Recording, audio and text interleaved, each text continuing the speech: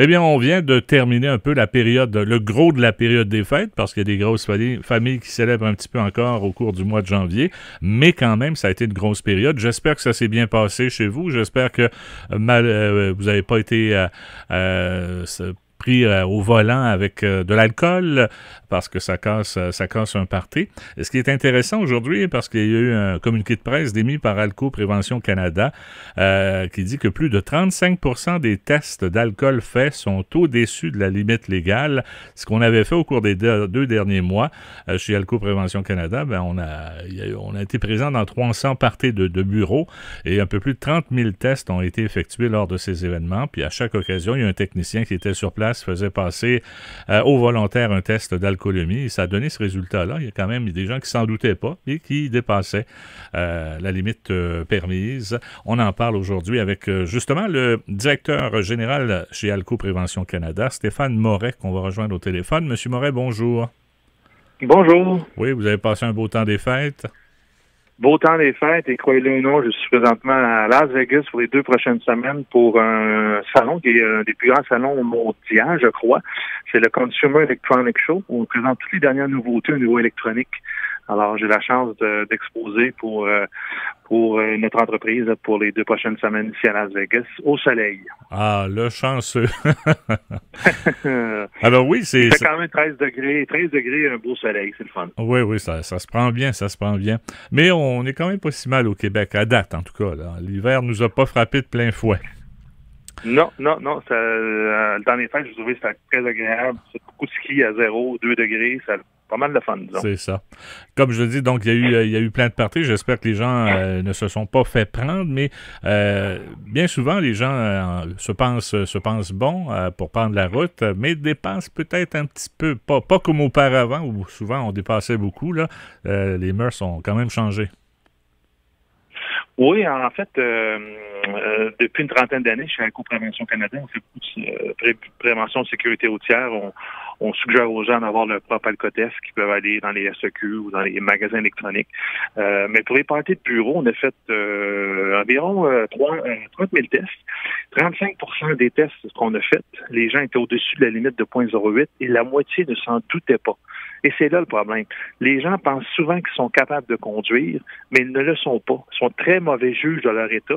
C'est normal quand on a des facultés affaiblies, on a le jugement affaibli. Ce qui fait que euh, nous, on va prôner dans la prochaine année, euh, un peu comme dans les grandes euh, pays comme la France, aux États-Unis, où on suggère aux gens de, se tester avant de prendre le volant, parce que quand on se teste pas, on prend de mauvaises décisions, on prend des risques qui peuvent avoir des conséquences graves, comme on sait. Et j'imagine que pour ces gens-là, ça a été une surprise de voir qu'il oui, ben vous avez sûrement déjà entendu euh, de vos amis, comme moi, quand j'ai fondé cette compagnie-là il y a une trentaine d'années, euh, je l'ai fondée parce que trop souvent je me faisais dire par des euh, par des amis d'université, je pense que je suis correct, je vais y aller. Mais je pense que je suis correct. Dans la moitié des cas, on n'est pas correct. Donc, les gens, ils prennent la chance et plus ils sont près de leur domicile, plus ils vont prendre un risque. Ah, je reste pas trop loin, il n'y a pas de danger. Oui, il y a un danger. un danger est vite arrivé. Il y a 15 000 personnes par année qui se font prendre au Québec pour alcool au volant. Ça signifie un dossier criminel euh, criminel, est-ce que vous avez encore un emploi? La plupart d'entre nous, probablement pas. Euh, difficulté à voyager, on peut tuer quelqu'un, on peut blesser quelqu'un, euh, des conséquences de près de 10 000 par, euh, par intervention lorsqu'on perd notre permis de conduire, parce que votre dossier d'assurance par la suite, là, imaginez-vous pas que ça va vous coûter moins cher, ça coûte le double. Donc, les conséquences sont graves et les campagnes au Québec sont, sont bien, mais je pense qu'on est rendu à un autre niveau euh, après avoir dit quand on conduit, euh, on ne boit pas, oui, mais de façon réaliste, c'est pas ça qui se passe au Québec. Les gens, la limite est 0.08. Euh, et on va partager une bouteille de vin au restaurant. Alors, quand vous buvez, soyez certain, s'il vous plaît, de ne de, pas dépasser les limites, tout simplement en vous testant avec une alcotest. Sans compter que la, la, fatigue peut entrer en ligne de compte sur notre consommation également, c'est sûr la fatigue et depuis l'an passé, la marijuana. Euh, ça fait des beaux cocktails. ben oui. Et justement, je voulais savoir ça. Pour le cannabis, avez-vous des, des, tests, euh, des, articles particuliers, vous, chez vous?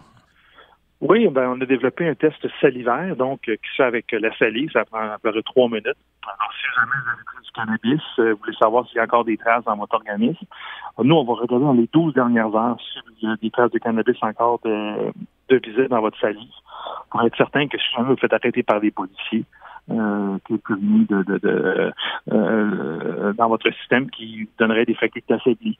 Alors, euh, on a beaucoup de clients parmi les parents avec les jeunes adultes, avec des gens qui travaillent dans un, milieu où la sécurité est en jeu. Euh, les entreprises maintenant peuvent tester leurs employés au niveau de, au niveau de la drogue, euh, en autant qu'évidemment il y a la sécurité en jeu et qu'on a un doute raisonnable. Euh, donc, encore là, les outils existent, c'est aux consommateurs québécois. On est en 2020 utiliser euh, ce qui existe dans le marché pour améliorer le bilan de sécurité routière et dans les entreprises également, parce que dites-vous bien que des statistiques que j'ai lues au Québec, après 15% des gens se présentent sous l'effet de médicaments ou de drogue au travail. Et moi, en sachant que mon collègue qui conduit un chariot élévateur, par exemple, ou conduit une ligne de montage, aurait pris un joint de midi, pas sûr que je serais content. Pas sûr que je, je, je, je de façon sécuritaire travailler à côté de lui. Non, non, quand tu dépends des autres pour ta propre sécurité, c'est pas, pas le fun, non. Non, et puis euh, euh, les entreprises, que ce soit les syndicats ou euh, les entreprises elles-mêmes, veulent avoir un milieu sécuritaire. si 15% des gens utilisent des, substances interdites, oui, c'est légal de fumer du cannabis au Québec, mais c'est pas légal de travailler sur l'influence. On veut s'assurer que les 85% autres des employés dans l'entreprise peuvent travailler de façon sécuritaire. C'est tout à fait normal. Alors, à ce niveau-là du, cannabis, vos tests euh, vont devenir populaires, j'imagine aussi comme les alcotests, là. Oui, oui, on espère bien. Euh, on, a, lancé ce produit dans le passé, puis c'est sûr que c'est un produit qui est en forte croissance. Et vous en avez combien de sortes d'alcotests? Parce que je voyais ça, il n'y a, pas juste les petits, là, il y en a une multitude. Ben, il y a les alcotestes qu'on trouve dans les SEQ à usage unique qui sont très bien, ils coûtent euh, 5 donc c'est vraiment pas dispendieux. C'est un outil qui fonctionne bien. On a des appareils électroniques qui vont coûter à peu près 150 euh, disponibles dans des magasins, magasins électroniques comme Tanguy, Docteur du Pabrise ou plus dans votre coin, j'imagine. Euh, et pour euh, par la suite, des, des qui sont disponibles pour les entreprises, pour tester les employés ou pour les bars également. Euh, beaucoup de bars au Québec ont maintenant cette technologie-là. Les gens avant de partir peuvent se tester. Et j'imagine que pour les parties de bureau, on en parle. Euh, il y, a des gens qui doivent s'en procurer également pour, euh, pour, euh, pour, les, pour les gens, pour les employés. Ça, ça peut arriver, ça? Oui. Oui, surtout qu'il y a une responsabilité au niveau légal, au niveau des entreprises. si jamais il y a un accident, il y a un aspect légal qui, qui, qui, qui, est quand même assez, assez lourd à, porter. Donc, en ayant des alcotests, ça prouve au moins que l'entreprise a fait tous les efforts possibles pour s'assurer que ses employés ne retournent pas à la maison avec des facultés affaiblies. Donc, euh, un investissement de 400-500 dollars pour la soirée euh, pour ses employés, je pense que ça vaut la peine. Et est-ce que chez vous, Alco Prévention Canada, vous, oui, vous développez toujours de nouveaux euh, outils? Vous vous renouvelez régulièrement, j'imagine? Oui, oui. justement, cette semaine, on est à Las Vegas. On va lancer une tablette qui est sous la forme de iPad pour les, bars, les restaurants au Québec, on veut euh, donner l'idée aux restaurateurs et aux bars d'amener la tablette à la table pour que les gens puissent se tester avant de prendre le, volant de façon volontaire. Donc, c'est pas plus gros qu'un iPad. On amène ça à la table, on prend une paille, on souffle et on, obtient notre taux, euh, taux d'alcool assez rapidement. Donc, on espère, euh, on a déjà vendu une vingtaine d'appareils aux États-Unis. Et on espère qu'au Québec, il y a des gens qui vont prendre la balle au, euh, pour, pour offrir ça à leur clientèle sur des cadres sport, des restaurants, des, des, bars ou quoi que ce soit, parce que c'est éthique, c'est responsable, c'est une bonne façon de montrer à nos clients qu'on les apprécie. Alors, comme vous le dites, avec tous les outils qu'on peut avoir en main de nos jours, il n'y a, pas de raison de prendre la route avec euh, les facultés affaiblies. Là. Non, puis en plus, euh, peut-être dans votre coin, c'est moins présent, mais euh, il y a beaucoup de services de raccompagnement qui sont ouverts à l'année maintenant au Québec. Euh, c'est comme les routes, mais ça fonctionne à l'année. Ils ramènent votre véhicule à la maison. Donc, vous vous testez, vous êtes au-dessus des limites légales, et par la suite, on peut se faire accompagner par des TZ capitales de ce monde qui sont présents à Québec ou des points 08 à Montréal. donc, il n'y a plus de raison là, aujourd'hui. On est probablement des provinces, un des pays au niveau des solutions qui sont les plus avancées, bien honnêtement. Ben, vous remercie beaucoup d'avoir participé à l'émission aujourd'hui. Puis les gens, s'ils veulent plus d'informations, ben, il y a votre site web alcoprévention.com où on a plein de, détails sur vos produits. Parfait, j'apprécie l'opportunité puis euh, salutations à tous les gens de la Gaspésie. Euh, du Bas-Saint-Laurent, Bas-Saint-Laurent.